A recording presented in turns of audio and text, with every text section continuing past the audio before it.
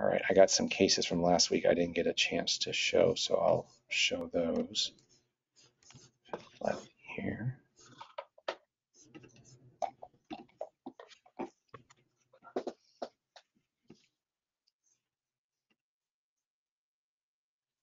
All right, so this is um, a case. Uh, so during the uh, contrast shortage, we, I mean, we've been doing pulmonary MRAs for as long as I've been here, and we we do them off and on, depending patients who can't get contrast, or we, a lot of times are younger patients with normal radiographs. But we shifted a lot of our PE studies over to MR whenever possible, um, just to try to conserve some contrast. And so this is a case that happened during that. And so this was a, a young woman who came in with chest pain. And you can see on her frontal radiograph, she has pleural effusions, a little bit of atelectasis. So they did an MR on her. It didn't show a PE, but was kind of nice. Um, and this may probably would have seen it on CT as well. But you'll notice uh, her pericardium is enhancing. And there's these little pockets right here of little fluid pockets that are enhancing. Um, so this is a case of viral pericarditis, um, and she had the the hospitalist note um, when they admitted her uh, looked like a pretty typical uh, appearance for that.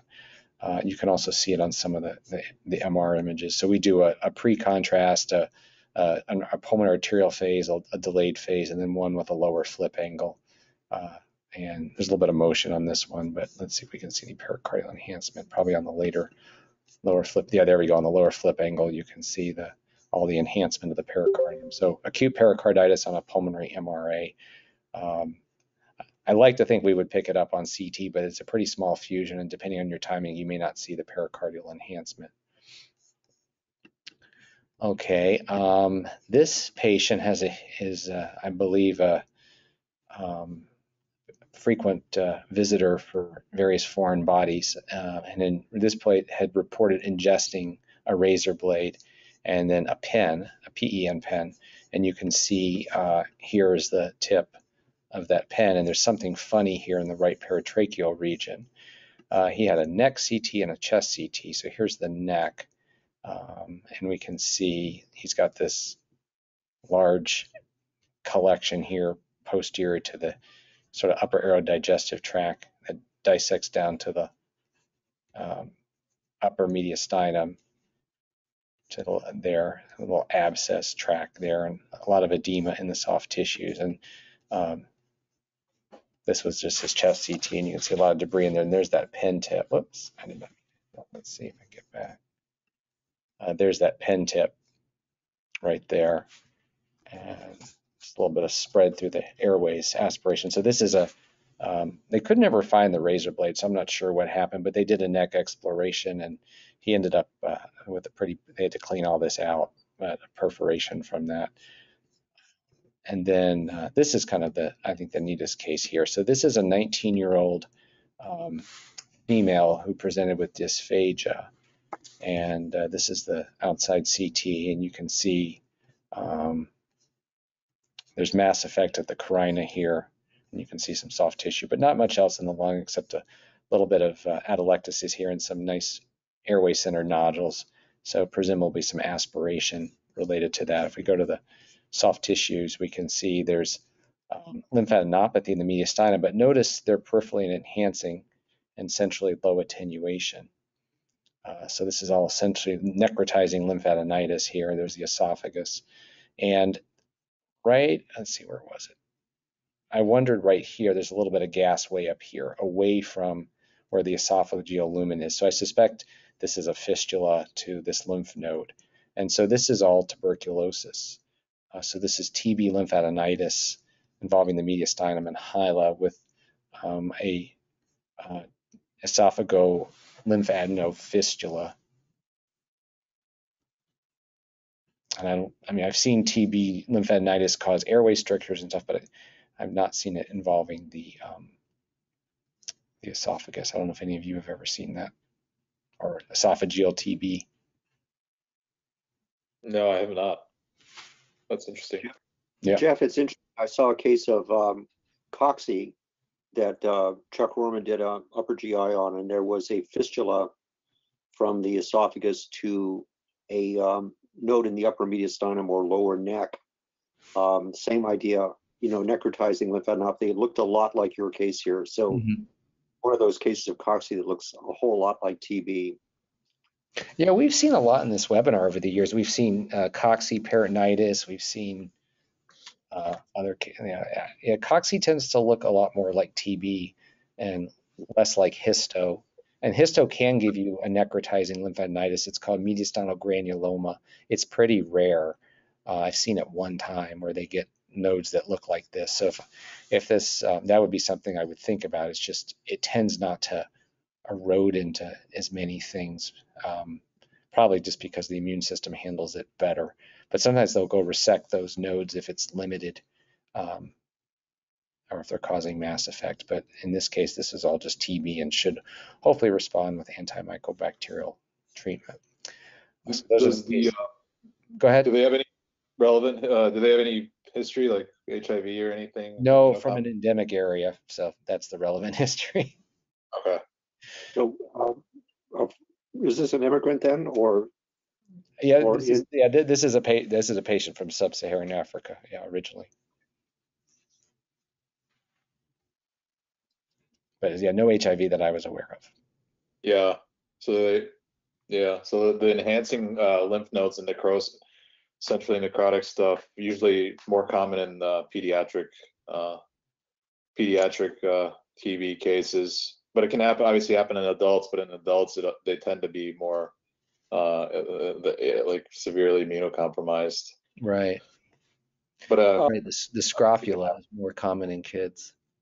yeah, That's a very good point. Well, you know, I think, you know, I looked looked at this years ago, uh, and the notions of the the the presentation of primary TB that was said to be the pediatric presentation was things like lymphadenopathy and pleural effusion. Uh, so those things were supposed to not occur in adults, but the reason was that the people who got TB were children, and the adults grew up they'd had TB as children, and so the manifestations that you saw in adults were the manifestations of uh, chronic, you know, indolent or, or leftover TB, not primary TB, because all primary TB was in children. But then as as TB was eradicated pretty much in this country, uh, the people who had those primary manifestations became adults. They became people like, you know, people in jail and not necessarily with HIV. So I think that the the manifestations that we attribute to pediatric age group are really the manifestations of primary TB. So I've seen a lot of cases of necrotizing lymphadenopathy and pleural effusion in adults who did not have HIV. So I don't think it requires immune compromise. It's just that if you're an adult when you get primary TB, you're going to have the same manifestations that kids with primary TB had. That was long-winded. That makes sense though, yeah. yeah, makes sense. It'd be like if we did, yeah, if we saw a lot of primary histo and people had never been exposed. Yeah, a similar thing was that it was said that um, a lot of lung cancers um, developed uh, in association with TB. It was really just because there was such a high prevalence of TB that when you saw, you know, a lung cancer, it was somebody who already had TB Right. as an adult. And to get lung cancers in upper lungs, so that's where we see the manifestations of remote TB as well. That's a good point. All right. So who would like to go? I have one cute case. Oh, a cute case. And I only have two, so I don't have a whole lot. Okay, this is a, um, a young woman, I think, uh, who has um, had shortness of breath and had a CT scan here for diagnosis of pulmonary emboli, and lo and behold, has pulmonary thromboembolic disease. So you'll see that I can get you a good window here. You see there is pulmonary thromboembolism on both sides.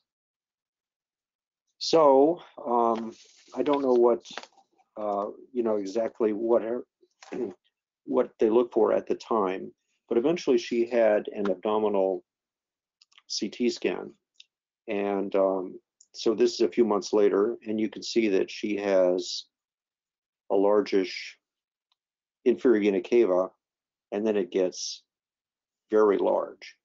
So down near the kidneys, we have this huge aneurysm of the IVC.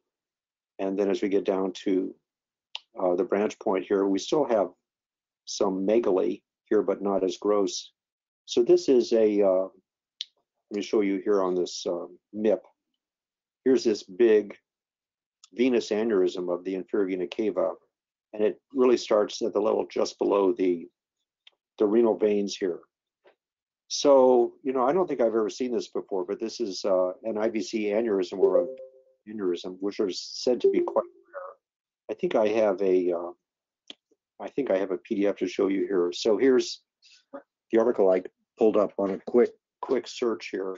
It says they're rare, only 18 reported cases, so maybe this is number 19. Um, this is probably congenital in this person, and it's uh, probably a type 3, which is the one that's confined to the infrarenal IVC without an associated any venous anomaly.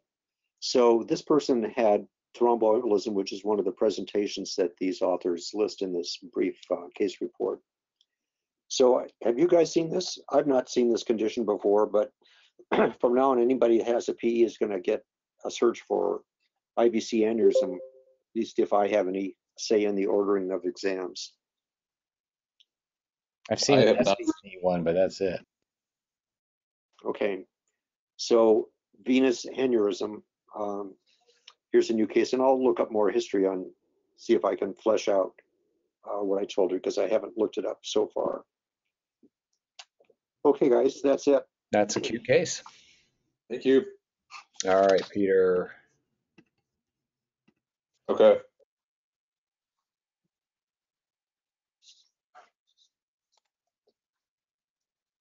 So I'm gonna, uh, I'm doing it from home, so I'm gonna use, uh, PACSbin again. So hopefully it'll, Yeah, I was messing around with it the other day. It works great. Yeah, I'm- not, loading the studies, uh, isn't the easiest for me, No. especially if it's more than one. But, uh, is it, you think it works better than the, than the other stuff that you're using to, to post your cases online? Are you gonna Um, replace it with? I mean, I keep them in my Osirix web server, but like if you're building Okay. the, the quiz function's pretty neat and it does let you order the studies. So you could put radiographs first, you could order MR sequences. Um, but the beta uploader they have is actually pretty good. It lets you, like, if you have like in, in uh, what do they call burned in PHI, you can box it out. Mhm, mhm. Yeah, I, I've only, only the beta uploader you'd worked for me. Yeah, I had trouble with the other one. Yeah, sometimes it doesn't like some of my DICOM compressions, but it seems to work okay. Because I was putting together a couple of like um, sets of cases for the incoming first years to use when they're on chest. Um, so I was like Mhm.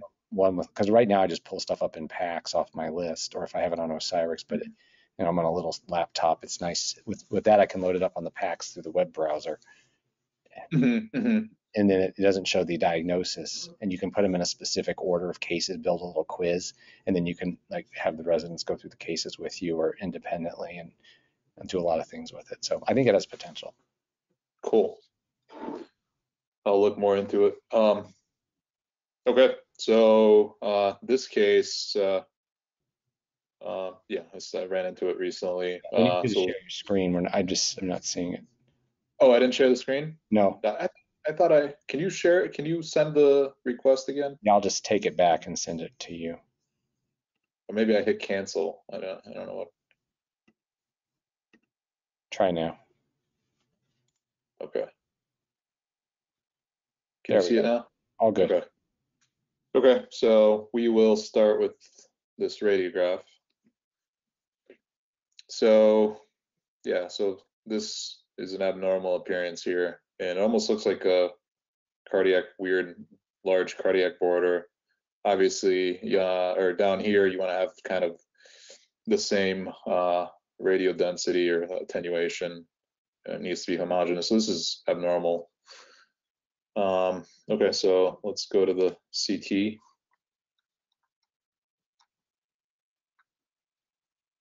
So there is the abnormality. It's got a little, a little bit of calcium, um, small left diffusion. So it's a mediastinal mass and the typical, uh, the typical uh, differential is given for anterior mediastinal mass, uh, but it ended up being none of the, uh, just looking back at the report, it ended up being not one of the things on the, not one of the common things you think of, it, of in the anterior mediastinum. So uh, thymoma, uh, with the with the calcification, hemangioma was listed, and a few other things. I don't remember exactly uh, what the other th- things listed here were, but um, uh, an MR was done. What's that? I was, well, I was gonna ask, it Yeah. almost looks like it's following the course of a structure. Yes, yes, that's a good. Leave it there. Yeah, yeah, I think you're on the right track. and the MR was done. I didn't. Let me pull up the MR.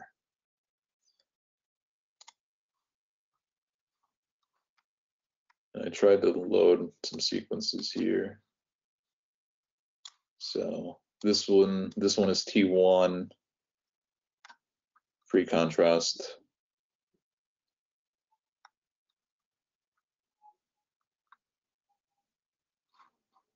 Um, this is just an SSFP or a T2 weighted, so you can see just uh, heterogeneous signal, but there's areas of high signal intensity on T2 and T2 weighted. Uh, this one is post contrast. So large areas of uh, not not enhancement, and then there are some foci of enhancement. But yeah, I mean, I I think the main, the main, yeah, it's, it's well circumscribed, but I think the main thing, uh, what, what Jeff was saying is it's following a, a course here. The other thing that to, to notice is, uh, and you could pick that up on the radiograph, is the left uh, diaphragm is elevated. So this is a phrenic nerve frenoma. That's a really nice example. Um, so just something to consider uh, on your differential for masses in that region. Peter, did you have a coronal from the CT that would, that could? be- Oh, let me, I don't think so, because I, yeah, and then unfortunately, let me go back to it, I, and then unfortunately, I don't think you can reconstruct them on, on this. It does, yeah. it does look elongated on, even on the, on the chest radiograph, top to bottom, Yeah, which is yeah, Coronal would be nice, yeah. the distribution of this thing. It's, it's really a elongated thing. Mhm. But yeah, I mean, it's right, right along the, that was a very good observation. And then, uh, you can Can see the diaphragm. Let, let's see how the crus is doing. Can we go down to see wh- whether the crus is thinned out on that side? I don't see a major, maybe it is a little bit thinner on the left side. Because if it's, Yeah, a little bit, at least. Yeah. Okay. Cool. yeah. I think It's there's a wis- little- It's wispy. Yeah. Good reminder to look at the crus. It's crucial. Okay, and then the other case I had was kind of a complex case I had to deal with yesterday. Uh, and uh, I was the only person in cardiac because usually usually we have a cardiology fellow that does all the protocoling and but he's out, so I had to deal with this case and it was kind of a complex case. Um, I'll open it up. So the story is I'll start off with the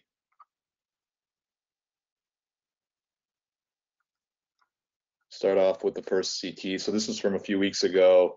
Uh, really sick patient, and you can see here they have a fistula between their coronary sinus and uh, left atrium.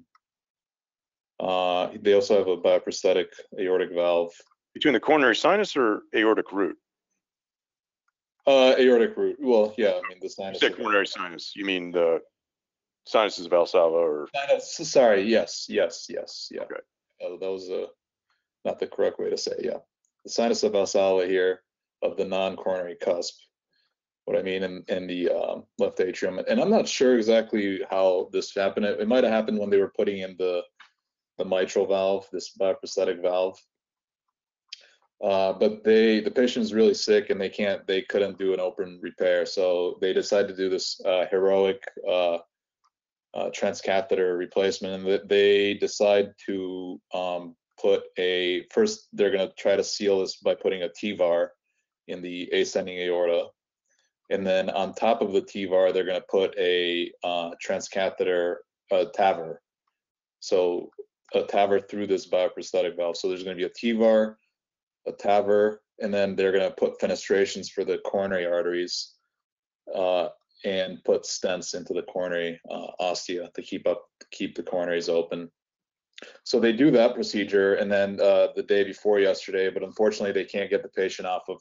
They can't. Can we take them off bypass because the uh, right heart starts failing, and they think the they also can't engage the right coronary artery. So they want, and that the patient has to be put on VA ECMO. So they wanted me to scan them while on VA ECMO to look for the um, to look at the right coronary artery. So uh, scanning people on ECMO, I think, is pretty challenging because um, uh, it's just really hard to predict the contrast. But there is a there was a really helpful paper that was recently published. Um, I'll show it here in radiographics uh, by the group in Stanford, Dr. Fleischmann. Uh, and then they kind of just show uh, some of the some of the uh, pitfalls of scanning with uh, scanning while on ECMO on VA ECMO. And one of the things is that you get uh, really like these mixtures of non-opacified uh, blood and contrasted blood, just because it, and, and then there's like a, a cloud of where this this this this this happens right here uh, and then this um, can either be this boundary here can either be uh, can be in the descending aorta or can be all the way up in the arch. And one way to one way to predict that is by the flow rate of the of the uh, arterial cannula of the ECMO. So what I decided to do is uh, obviously you want you're going to need this opacified. So I just decided to put the uh, uh, the bolus tracking ROI really close to the coronaries right here, and then just try to bolus track it. And uh, I think it ended up ended up working okay. So here's the here is the uh, I had the ROI here, but you can't see it, and then you can just triggered it. It triggered it, and then we got the images.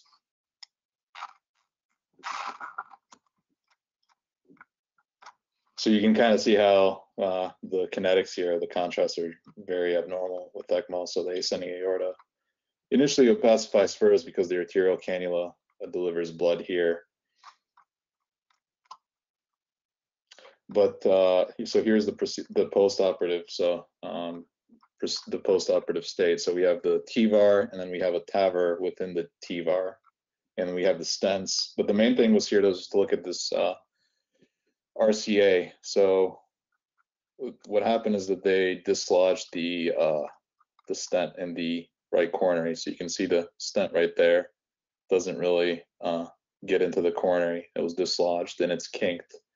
You can see that on the uh, coronal.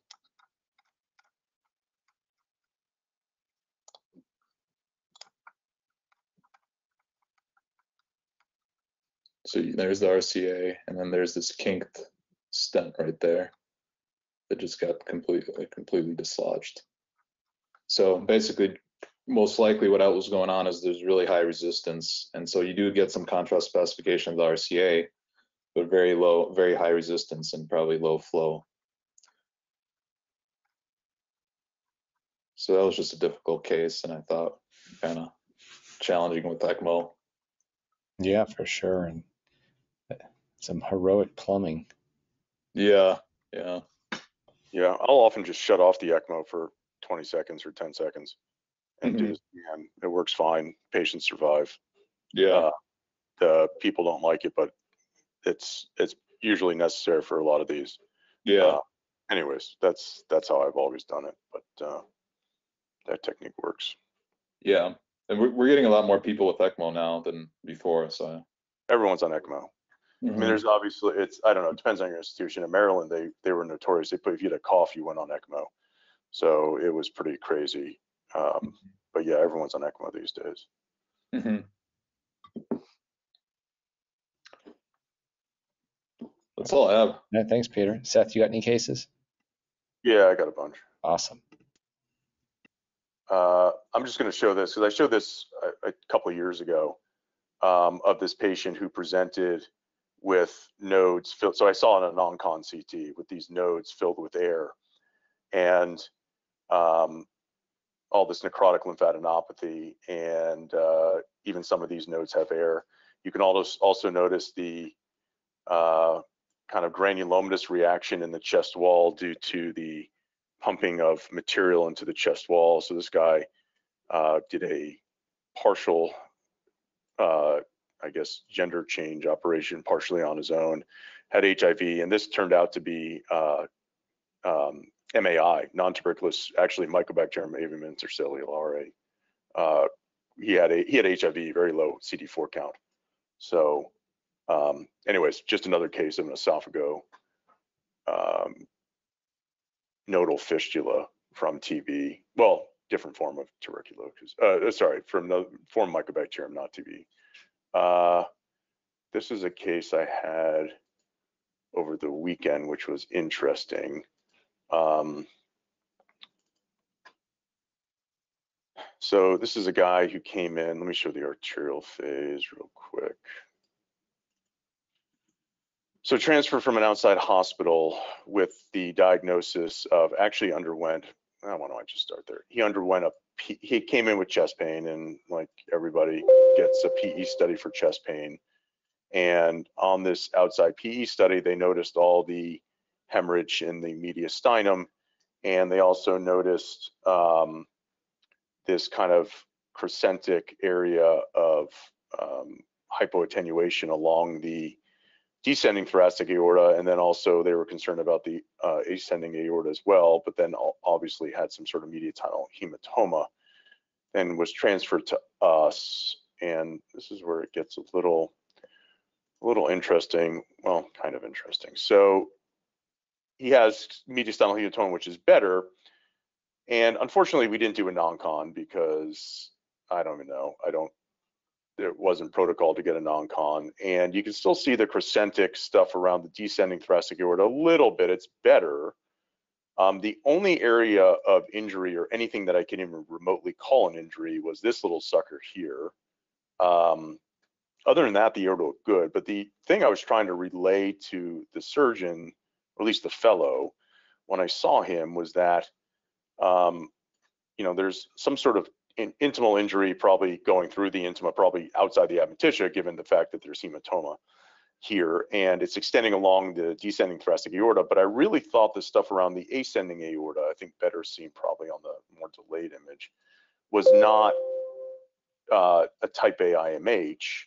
It was actually just mediastinal blood extending around the ascending aorta. And the reason I could kind of tell that is you have fluid in the superior pericardial recess kind of wrapping around the aorta here. So if you, you know, so this is fluid in the pericardial recess and this is blood. If this is going to be an IMH, you're not going to see fluid around from the superior pericardial recess between the blood and the aorta because this is a process theoretically starting at least in the intima.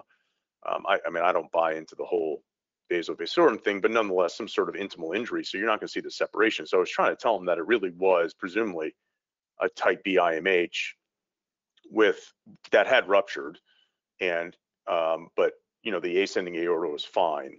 So that discussion didn't have any effect on what they did. So they went in and um, took out the entire ascending aorta and the entire arch and then stented the descending thoracic aorta and of course, the path came back and showed that the ascending aorta and arch were completely normal, that there was nothing there.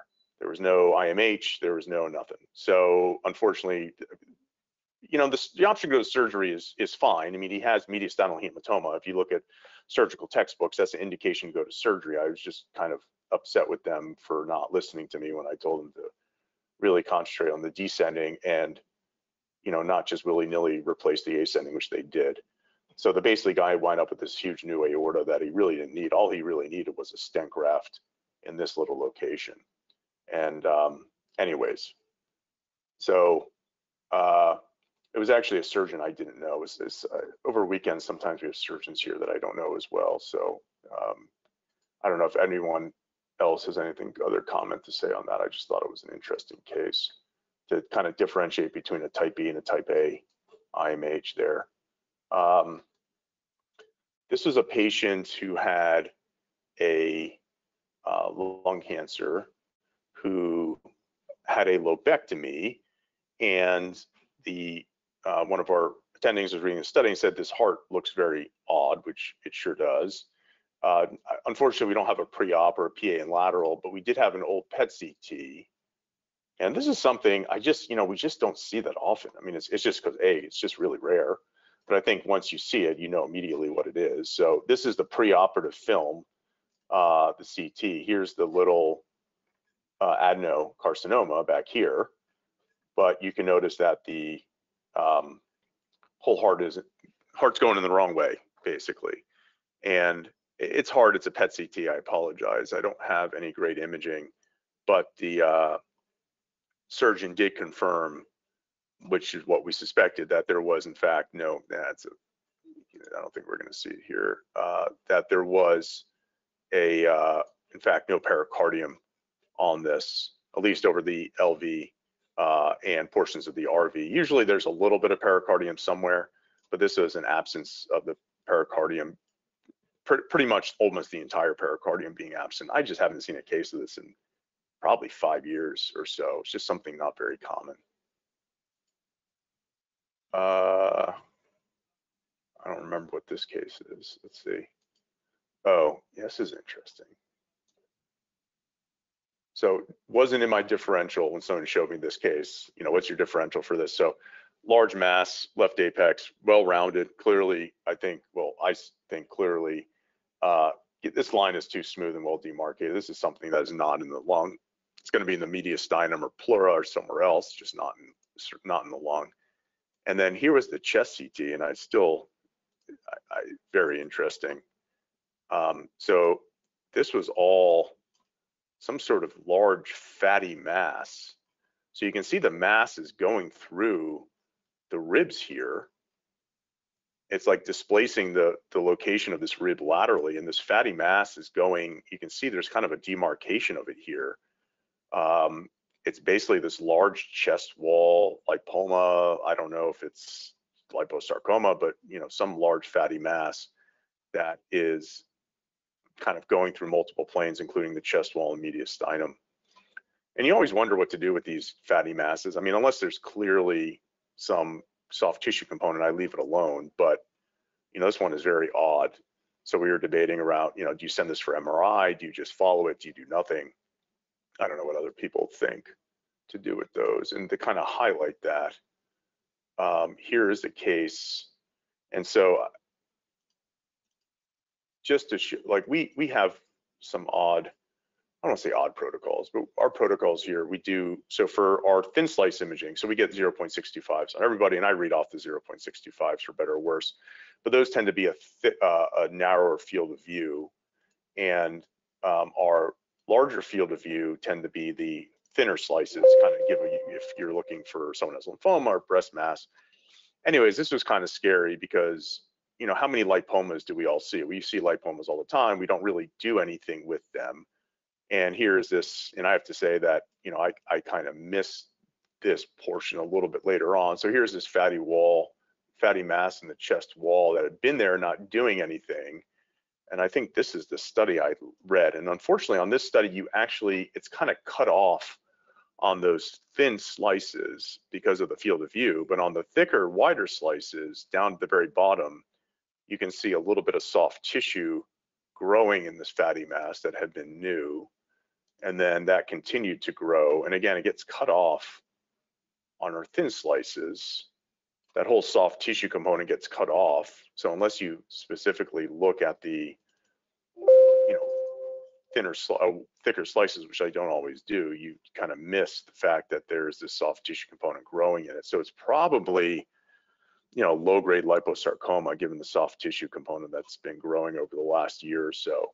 But just kind of a scary thing because, um, I mean, we all see lipomas all the time. And I, I never recommend any sort of follow-up or anything for them. I just say, oh, the other thing that the, um, and, just like multiple other things, if you look from one study to the next, there's no change. But if you look side by side, even the um, growth of this thing is, let's see if I can load them up side by side. Sorry. Uh, why can't I load these two? Anyways, let's see if I can, if you load them up side by side, you can actually see that this thing had been, so here is 2020 and here is uh, 2022. And you can see that this thing is also growing, but if you look from one study to the next, you wouldn't really appreciate it. Anyways, I still not going to change me. I'm still not going to recommend follow-ups for things that look like lipomas, but just kind of a reminder that, you know, these things don't always turn out to be what you think they're going to be. But uh, Seth, do you think that could just be a blood vessel that's getting bigger as the uh, amount of fat that it's supplying gets bigger? I mean, it looks uh, like an elongated thing. Is that maybe just a vessel? Well, there was nothing ever there before. I mean, it's possible. We sent the patient for MRI, so Yeah. we we don't know. Um, and there's really no nothing there on the prior. Like, there's no hint of a. ve- It, it could be, Dave. I, I'm uh, I- I'm not gonna. lie, I'm not sure. Okay. Um, it may turn out to be nothing, but uh, like this is a vessel. This little guy coming across here. Right. This more. I don't know. But it's, you know, it is growing. If you look at the, you know, deformation of the chest wall, this thing is, is, uh, so this is about the same level. You can see it is definitely getting bigger. So I is guess- MRI gonna help with it? Uh, uh, you know, capacity to um, degenerate into liposarcomas, I guess. So we had to scrutinize all lipomas now carefully for any changes like this. Yeah, I mean, I don't know what it'll turn out to be, but, um, yeah, no, it's a very good pickup by one of our fellows. I mean, again, this had been missed, I think by everyone in our, in our, you know, it's like a breast cancer follow-up patient, right? And so you're looking at everything and you're looking for Mets and you see the lipoma, you're like, yeah, whatever, and you don't go back. It's not like an adenocarcinoma where you're looking to see subtle ground glass nodule growth. You just say, um, and on the thin slice imaging, again, this whole soft tissue portion out here was cut off. And um, yeah, I mean, no harm, no foul because it was caught and it may turn out to be nothing. It's just a little scary. But yeah, that's that's what I got. What, what did you, Seth, what did you decide to do with the uh, first case that you showed with the, in the, in the upper thorax? Was that Oh, the uh, you mean the the the big the big Yeah. fatty? I think we recommended an MR. Okay, although I I was just going to leave it alone. Um, but it's so bizarre. I don't know what would other people do with this. I guess what would M, what would MRs show there? I mean, what you're. I don't know. I don't. Maybe we recommended a chest fall, a CT fall. Well, first of all, we're not seeing the whole thing, Yeah, yeah, so we're only seeing like you can see there's kind of a maybe we're imagining it, but it looks like there's kind of maybe a capsule here where it's Yeah. just everything and it's going up outside the field of view, and we don't know what's outside this field of view, so we kind of recommended maybe an MRI for yeah. assessment of the entire structure, but you're right. I mean, um, I guess if, I guess, if- I guess you could also start, if you're gonna worried about it, you might as well biopsy it. yeah, but it, it, I think with a lot of those, right? I mean, even again, I, I'm not a soft tissue Yeah, expert. I, I would imagine with some of these low grade lesions, yeah. know, depends where you you would have to hit the perfect spot Right, to actually get something because 99% of it is actually fat. yeah. Now, do you Uh, guys do, do you get a dedicated CT, like a focused MR for MSK protocol or? Yeah, this would I, I would just tell them to give it to MSK. Yeah, They yeah, figure it out. That's what we do. I mean, if it was a mediastinal mass, we would do it ourselves, but given that it looks like the majority is kind of chest wall going up to neck, um, we were kind of, we kind of punted it to them. Yeah, I mean, what would other people do with this? I mean, I, I was actually tempted not to do anything, but other people kind of like, well, you never know, you know, it's displacing structures, it's going into multiple planes. I, I was like, okay, get an MR. yeah, I think you'd want to at least uh, the whole- verified this. It looks to me as if it could go up pretty high in the neck too. Yeah, yeah, absolutely. It It needs, is it needs, displacing the trachea here it's too. I mean, is. this, yeah, you want to map this lesion and know if it's having mechanical effects. yeah, no, it- it's, um, absolutely. I, I think the whole lesion needs to be visualized, but let's, you know, let's say even if you saw the whole lesion in the chest, in the chest wall, and you saw the whole thing, would you do anything with it? Would you just say, well, it looks like a simple lipoma? Even though it's kind of weird going in between, I, I mean, I've never seen one go between the chest wall and the mediastinum like that. I think technically you can't tell low, right? Technically you can't differentiate by imaging a low grade liposarc from a, a lipoma. So some people just tend to be more, it's just like a lot of things. Some people are more on the cautious side. So for almost every one, they'll use very, they'll be more conservative and recommend follow-ups or, and then other people just say it's a lipoma and move on. Yeah, my guess is most of this is actually extra plur- pleural, you know, I- don't know how much, the well, they all connect, you know, anyways. I Pull back the last statement. Um, Yeah. So we'll see what happens with that one. Seth, were you on when I showed the uh, IVC aneurysm? I, my, my audio on that thing, uh, the reason it keeps dropping in and out is like, I don't know what's going on with it. That workstation, I worked only at this hospital one day a week and it's the day of our conference, that workstation, that thing just drops out. And so the answer is, I was looking at the imaging and I wanted to know what the heck it was. And then I ran back up to another computer, logged on and saw it was an IVC aneurysm, which I've never seen. Did that person have any congenital things other than that? Uh, as far as I know, no, not, but I haven't investigated the history fully, but I, I figured if you hadn't seen it and um, if Travis hadn't, seen it, then they don't exist. Not that big. I mean, I, we have cases of, I mean, I showed that case of Klippel Trenaunay Weber the other day that had that massive IVC and branch veins that had CTEPH because of that. Um, and I've seen a couple people with big IVCs, nothing like that though. That was really massive. I, I've not seen that before. Okay, thank you. Yeah. All right. Well, thanks everyone for the really cool cases. I'll talk to everyone uh, next week. All right, take care. Yep. Take bye. care. Bye-bye.